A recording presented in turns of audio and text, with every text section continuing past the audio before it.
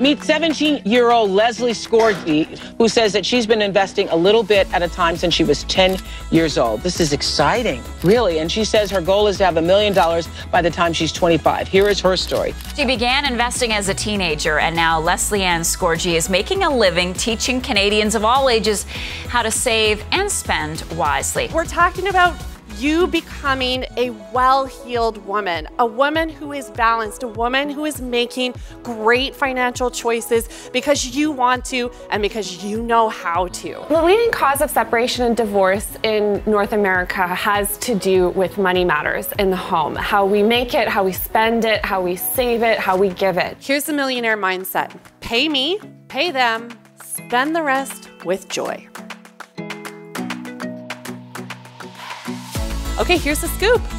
Women who have financial plans and who do what we're doing today, rolling up your sleeves, getting empowered, have 3.9 times more money at retirement than a woman who doesn't think that this is important. Student loans aren't all bad. Sadly, we have around 30% of Canadians taking advantage of our RSPs, and that's simply not enough. So, what's most important in your financial wellness journey is that you fill it with more wellness.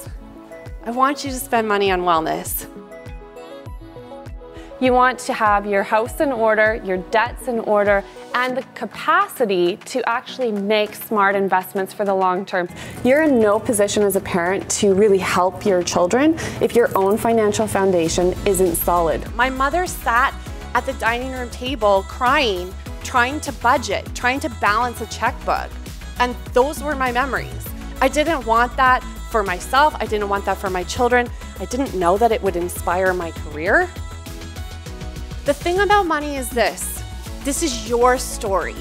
You decide what happens. Not Lesley-Anne, not your partner, not your workplace, not your job. You get to decide.